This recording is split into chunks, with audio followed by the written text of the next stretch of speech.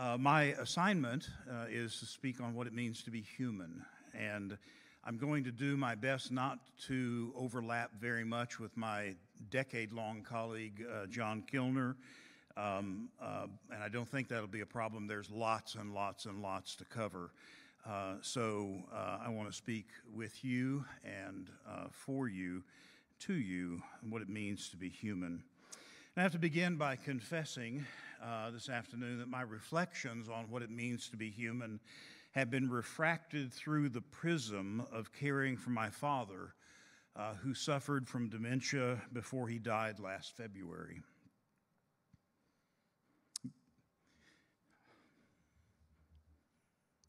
Being with dad every day for several years, and then especially this last year, gave me a lot of time to think about what it means to be human because he is or was, I never know what the right tense is, he, because he is my father. Uh, I know that my perspective is biased. So I want us to think about what it means to be human in a slightly different way, which I hope will be less biased by experience, but no less informed by it. But before I do, I want to contrast my perspective with two standard models. The first standard model of what it means to be human is the Enlightenment model, and the second is the medical model. So, first, the standard Enlightenment model. And I begin with the Enlightenment model of human personhood because it's the most perva- pervasive in Western culture. And I think we can find ample evidence of that claim in many places, from Charles Taylor's magisterial volume, The Secular Age, to Carl Trueman's more recent volume, The Rise and Triumph of the Modern Self. But two historical examples will suffice to, I think, I think, legitimate the claim that I'm making about the pervasive nature of the Enlightenment model. In his brief, but I believe disproportionately influential treatise, an essay concerning human understanding, English philosopher and physician John Locke defined what it means to be a human person in the following way. To be a human person for Locke is to be, quote, a thinking, intelligent being that has reason and reflection and can consider itself the same thinking thing in different times and places, which it does only by that consciousness which is inseparable from thinking and is, it seems to me, essential to it. Now, every adjective is important. The criterion for personhood includes existence as a thinking, intelligent, being possessing self consciousness in a variety of times and in a variety of places. Or to put it another way, for Locke, a human person is an individual, rational self who is consciously aware of her conscious awareness as a thinking self over time. Now, let me just, let me just illustrate this way think of yourself thinking right now. You can do it, right? You qualify. Um, you are a human person.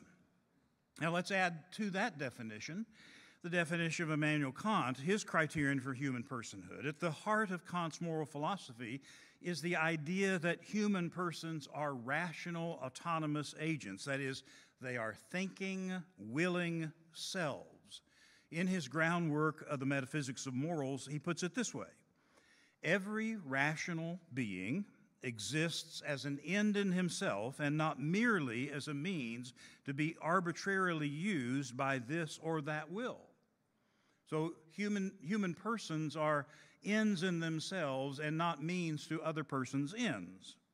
Beings whose existence depends not on our will but on nature have nevertheless, if they're not rational beings, so for those who are not rational beings, they have only a relative value as a means and are therefore called things. On the other hand, rational beings are called persons inasmuch as their nature already marks them out as ends in themselves. So, those beings which are rational beings are ends in themselves and should not be treated as means to someone else's ends, but those beings which are not autonomous, self directed, rational individuals are neither persons, nor do we have the same duties toward them. They are merely things.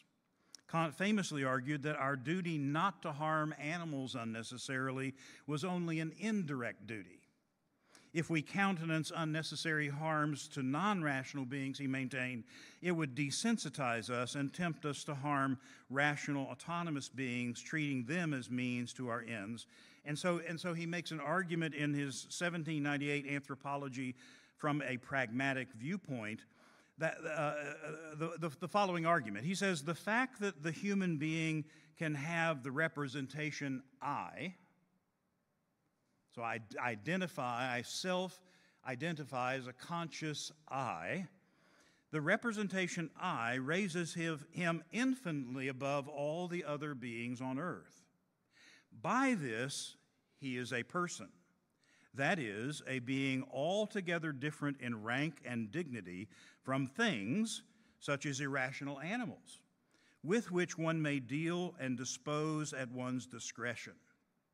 So, rational animal, uh, excuse me, non rational animals are things, and one may treat them as one wishes, except for the caveat that in doing so, that may desensitize us and, and allow us to treat um, human beings, uh, human persons, uh, as uh, means to ends rather than ends in themselves. Now, the many good things Lockean and, and Kantian thought had bequeathed to the West, and I, I think there are many good things. I'm afraid their anthropology has not been entirely salutary and beneficial. In fact, I would argue that the view of the human person as an autonomous, rational, expressive individual has been extremely detrimental in politics, in culture, in education, in healthcare, and religion. From creation care to discipleship to the liturgy in our churches, and yet it's the air we breathe and the water in which we swim. Apart from that, it's fine. In biology and medicine, for instance, we've seen that this perspective threaten vulnerable human beings at what the late Christian ethicist Paul Ramsey called the edges of life. Uh, what do we say of the unborn human being who has not yet developed, quote, reason and reflection and can not consider it, uh, itself the same thinking thing in different times and places, quote Locke? or what of the human being who's in a chronic coma and has lost the representation I, can no longer think of themselves as a thinking self? To quote Kant. Or, quite apart from the preborn or the PVS patient, what happens in the case of dementia when, as Scottish theologian and registered nurse John Swinton puts it, one can no longer remember either self or God? What do, we, what, what do Christians say of the person who can no longer contemplate God, can no longer know God. Did my dad cease to be a human person because of his dementia?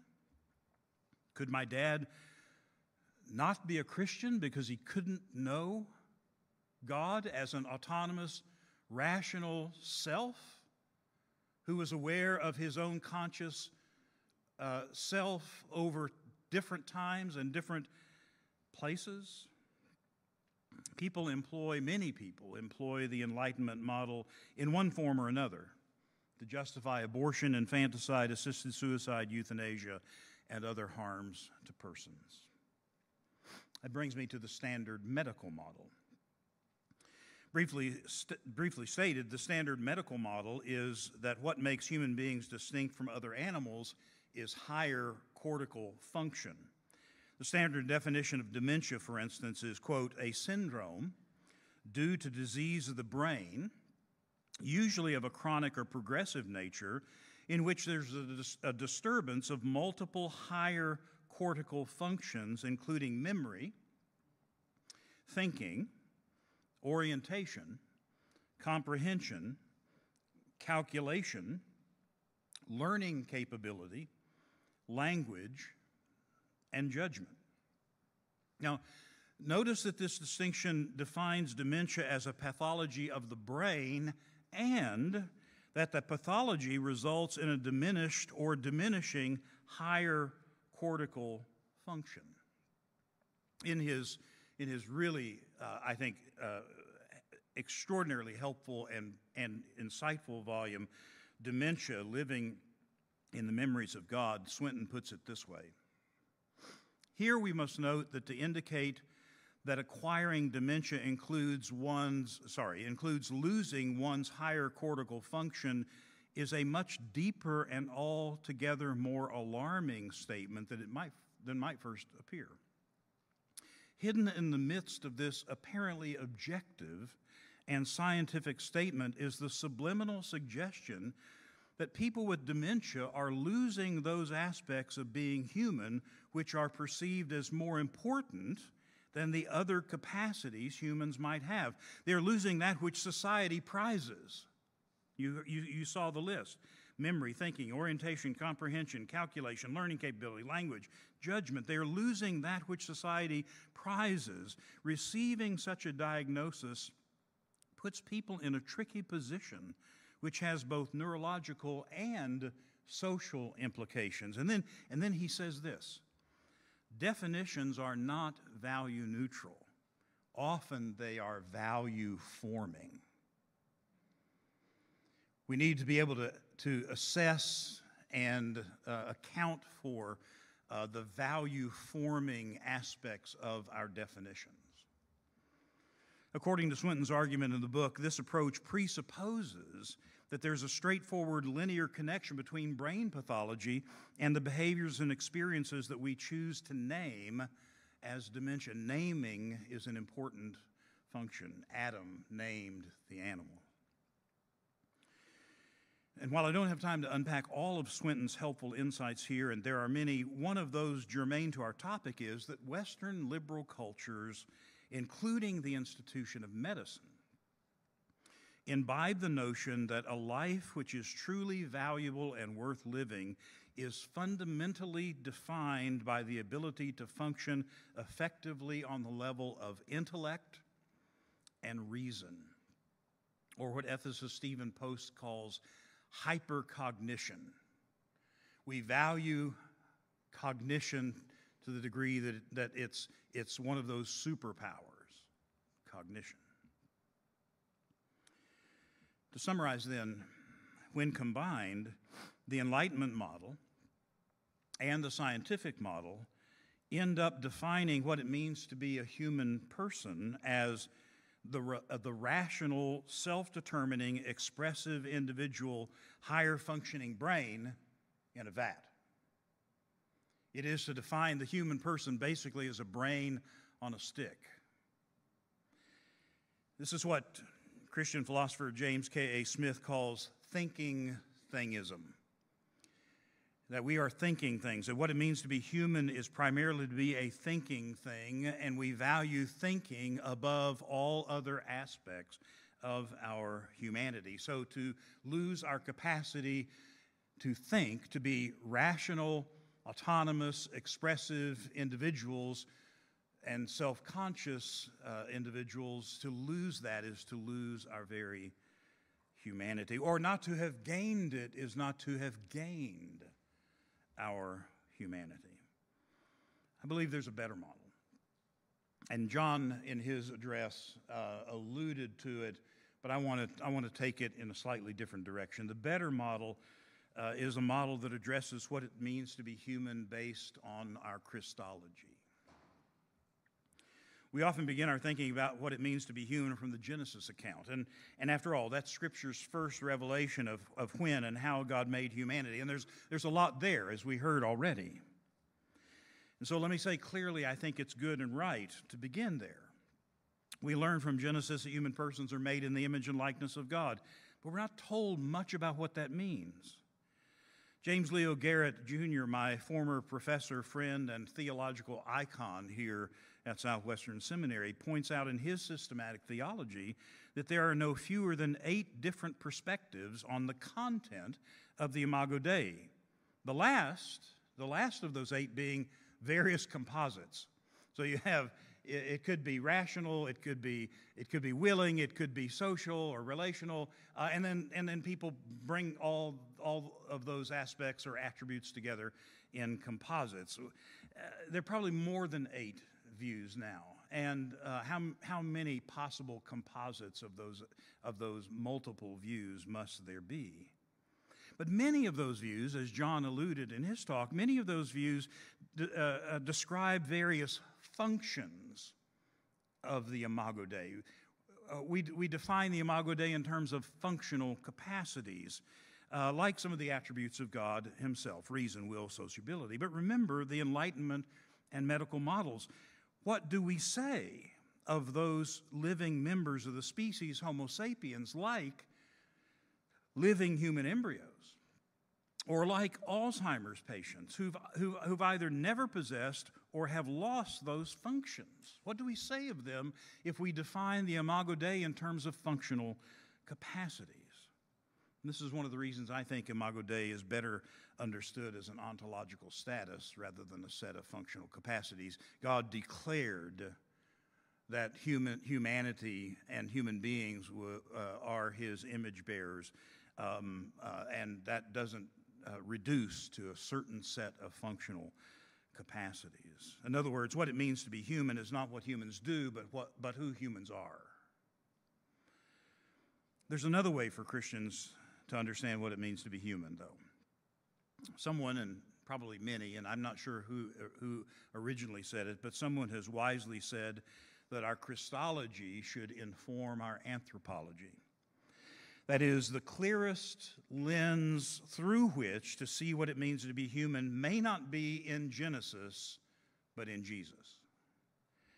The clearest lens through which, through which to see what it means to be human may be the God man. Now, that's not to disparage Genesis, it's to exalt Jesus as the, the, the, the image of the living God. So, for the remainder of my brief time, I want to focus on three particular aspects of what it means to be human through the lens of the incarnate Christ. First, human beings are necessarily embodied. In the January 2000 issue of the medical journal Pediatrics, a team at the Boston University Division for Behavioral and Developmental Pediatrics reported on a study that they had done with 30 mothers and their newborn infants and the problem of pain. They divided the infants into two groups. Half of the mothers held their babies in whole body, skin to skin contact while doctors performed the standard heel prick procedure to draw blood samples. The other half of the babies were wrapped in receiving blankets uh, and, and placed in a bassinet while the blood was drawn. Babies in contact with their mothers, this won't surprise us, but it's interesting. Babies in contact with their mothers grimace 65% less than the swaddled babies in the bassinet. And get this, their crying time, the, the, the, crying time of the babies that were held skin to skin against their mother, was a remarkable 85% less. You see, embodiment matters. And it matters at the other end of life, too. The, the nursing literature is full of references to therapeutic touch. Imagine, imagine that something so, so common and something so human as touch is now seen as a therapy. When you think about it, it makes perfect sense, though. No other part of us comes in contact with that which is not us but our skin. Think about that. Think about that. No other part of us comes in contact with that which is not us, but the skin. Our skin weighs six to 10 pounds, some of us more, some of us less. It's the largest organ of the body.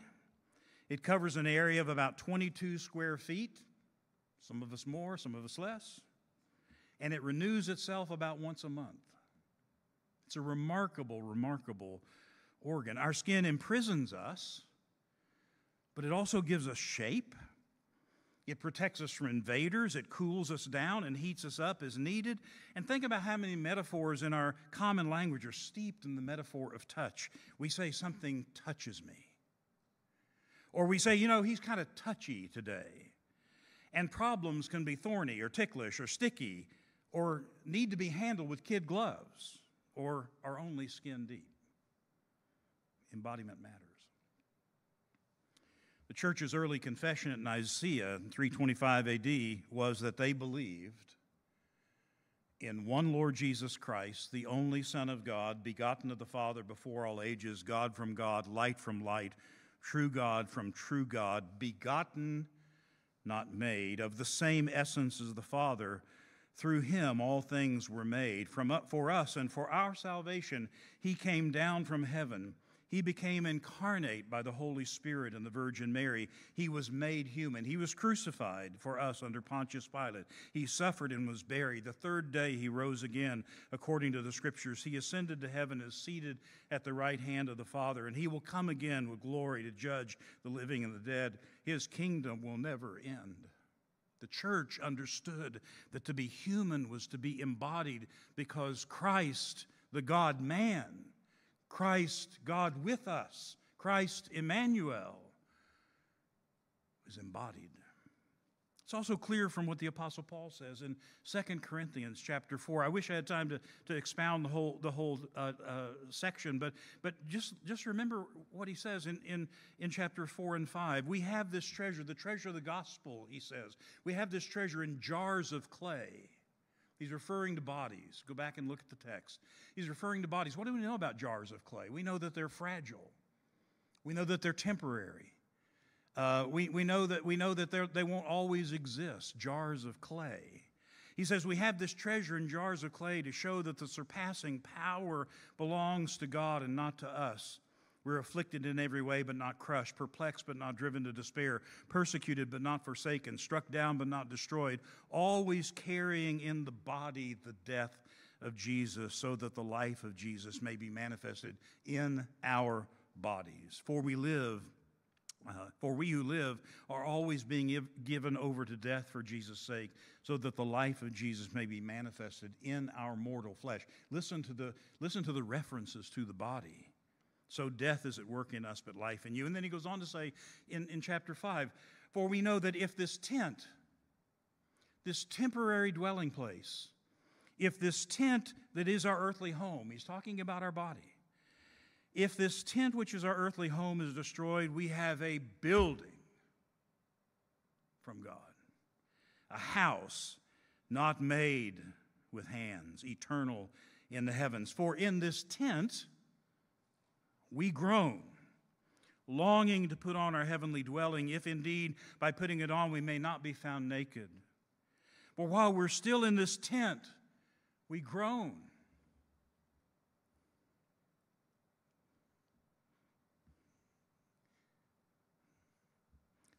This is the groaning stage. It's okay to groan.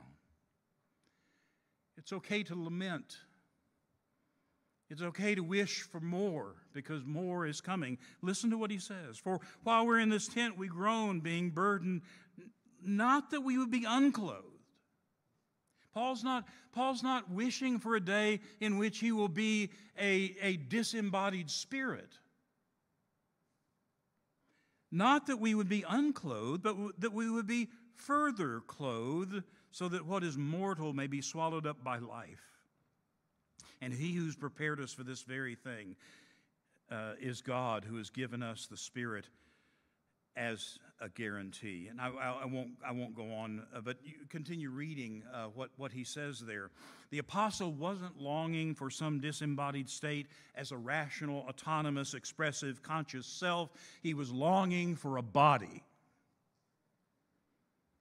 By the way, the Bible is a very, a, a, a, a very sensory book.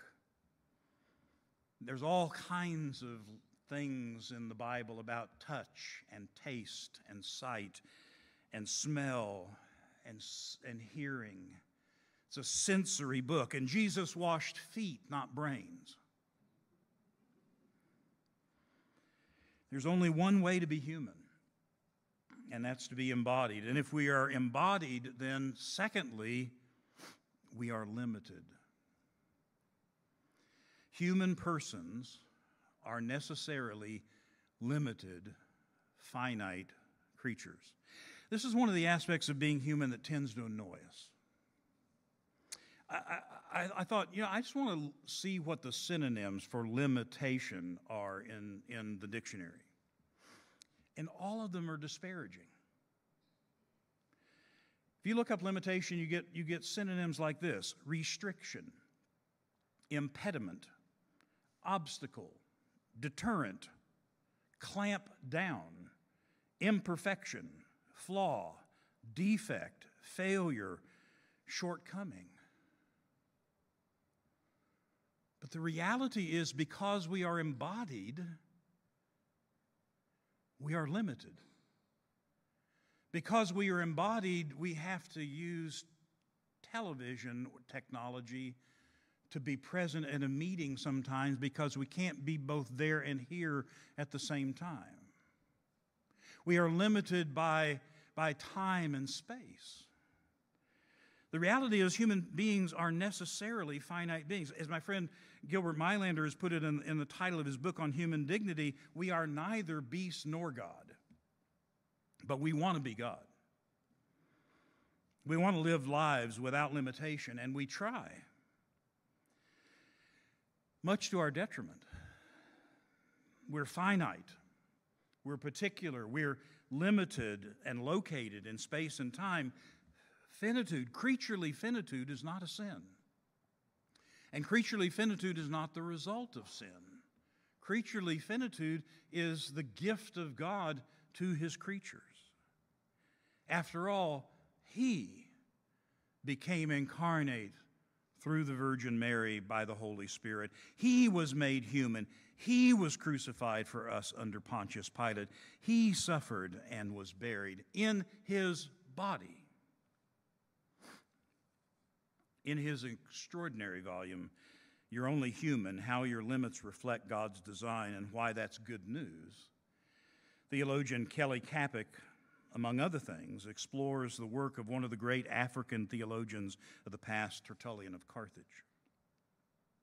And he explores his essay against the, Mar- the Marcionites, De Carne Christi, uh, on the flesh of Christ. Let us examine, requests Tertullian, our Lord's bodily substance. For about his spiritual nature, we're all agreed. He assumes that they agreed that Christ is spirit or spiritual, but he wanted to inquire about their understanding of his earthly nature, his bodily substance. This is one of the great questions, of course, that the early church faced. What does it mean to confess that God was made human? And for us, I think similarly, it is what do we learn from the incarnation about ourselves. What shall we say of our Lord's bodily existence and what it means for us?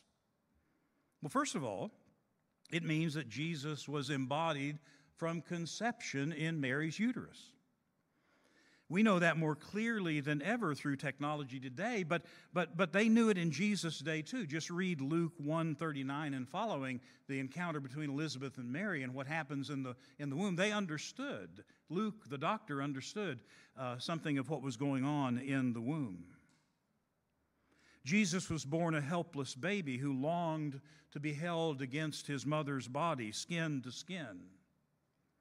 Jesus was limited in time and place. In his, earthly, in his earliest days, he was limited in, in, in, time and place in a cattle stall in Bethlehem. He had skin, a vascular system, cardiac function with blood pressure and a pulse that he could have seen on his Apple Watch if he had one.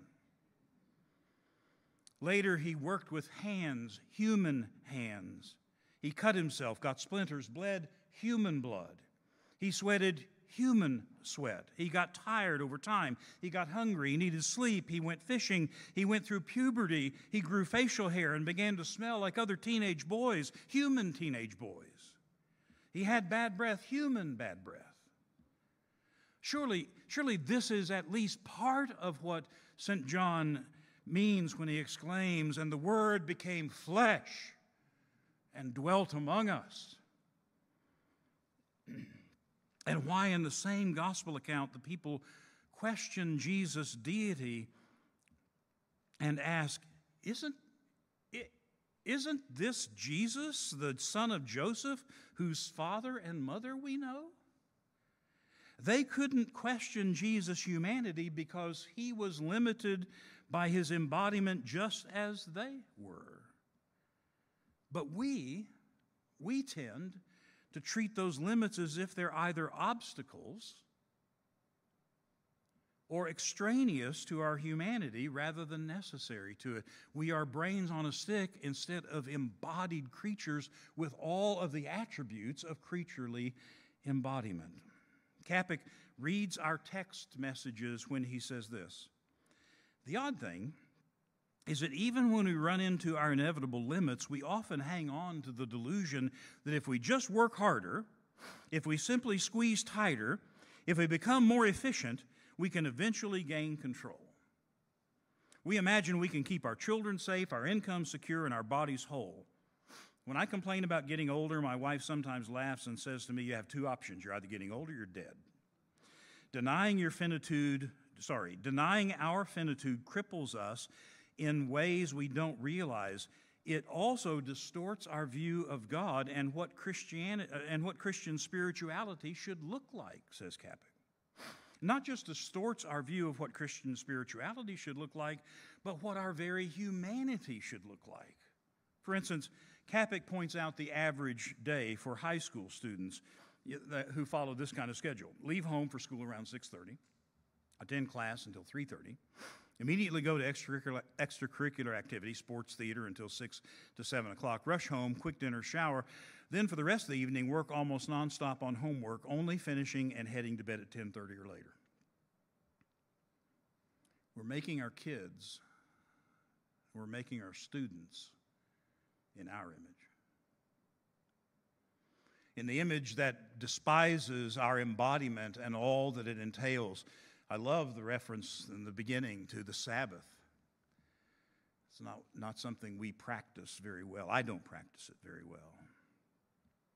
We're making, we're making um, others into our image instead of the image of the Son of Man. I think, says Kapic, we have a massive problem, but it's not a time management issue.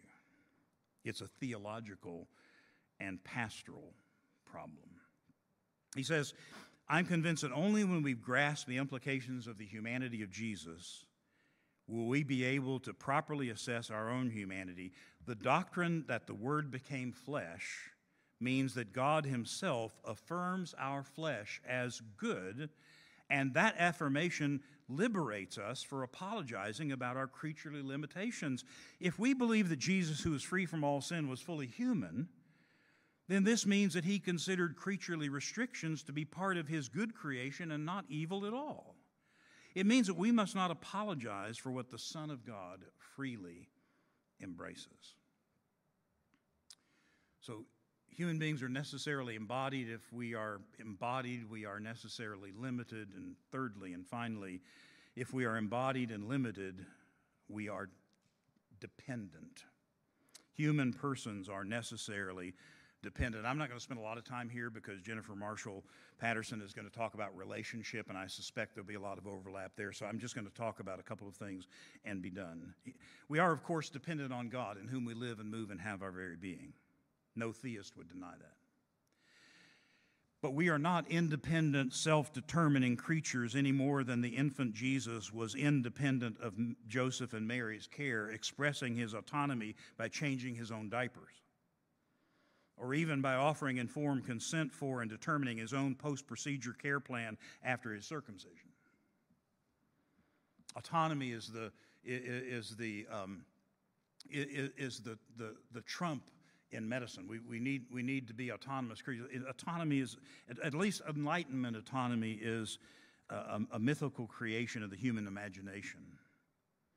God Himself said, It's not good that man should be alone. I'll make a helper suitable for him, a companion in a relationship of dependence on God and interdependence on one another. Last time, Kapic, I think. No, I've got one more. Our bodies, with all their needs and dependencies, were made good. And part of the intrinsic good of our bodies is that they're an ever present reminder of our creaturely needs. To be human is to be dependent on the Creator Lord, dependent on other human creatures who provide their presence and love, dependent on the earth, which provides for our physical needs, from oxygen to lettuce, from shade to springs of waters. This dependence, when recognized and remembered, raises serious questions about the emphasis on self generated identity that's so often assumed and encouraged in our modern world. As embodied finite creatures, we, uh, do we have a purely self generated identity?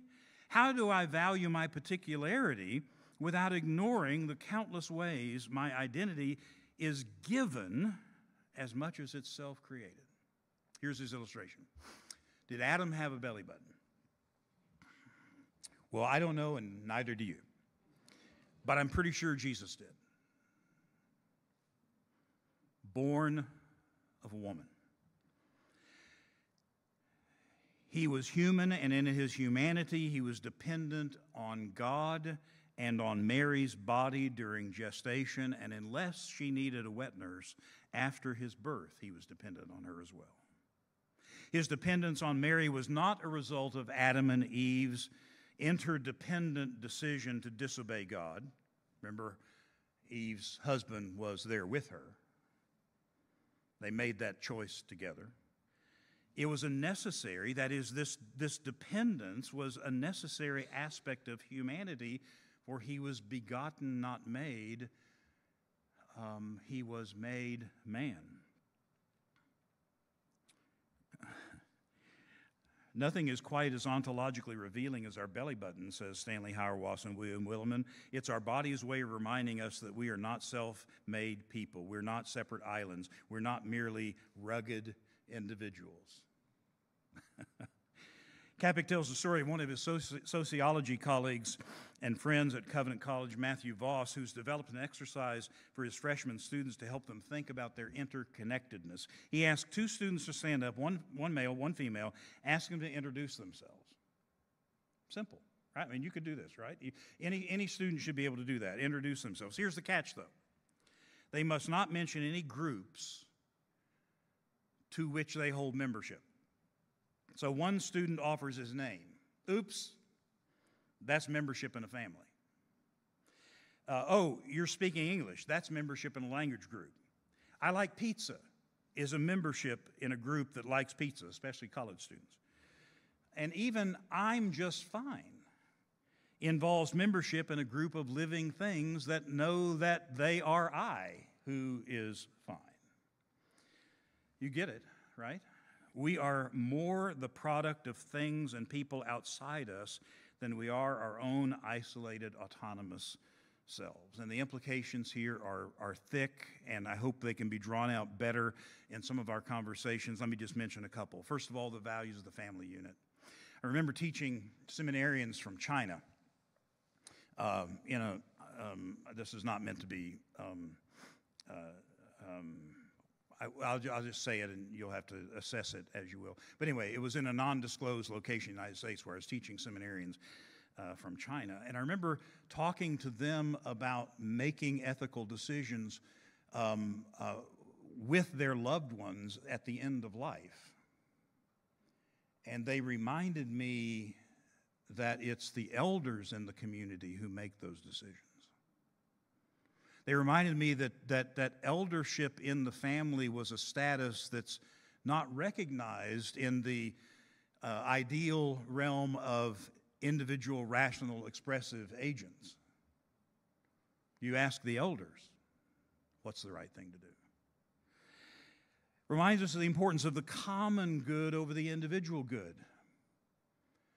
The common good the good of humanity, the good of, the good of community, the good of, the good of a human uh, uh, of a church over the single, rational, autonomous individual agent.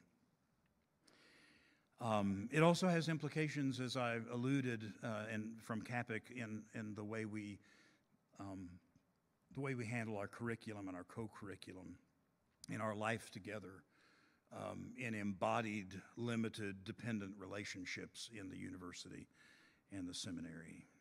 And finally, I was reminded that there are some in, in, a, in, a, in a, a culture that, va- that values almost above everything else voluntariness. The, the rational, autonomous individual has obligations only insofar as she or he uh, volunteers for those obligations. I was reminded that there at least some of our dependencies and obligations are not chosen. I didn't choose to be my father's son.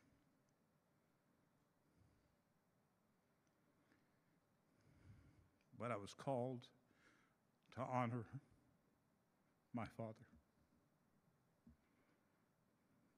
Some human dependencies and duties are not voluntary, not assumed. So finally, and, and I conclude in, in uh, 30 seconds. In addition to being imagers of God, what it means to be human necessarily means to be embodied, limited, and dependent. Given the Enlightenment model and the medical model, we're tempted to think, we're tempted to think that advancing in health and maturity means that we grow out of those attribute, attributes of limitation and dependence and embodiment. We're gonna, we're gonna get better. We're gonna, we're gonna grow out of that. We're gonna become, we're gonna become adults. And so we think that the ideal for humanity is to become more cerebral, freer from limitations, independent. It's a half truth that can lead us to believe a whole lie. Most of all, we depend on the Holy Spirit to teach us. So let's pray. Holy Spirit, be our teacher until we experience the consummation of our created humanity by returning to you, our God, embodied, limited, dependent imagers of God. Through the incarnate Christ, we pray. Amen.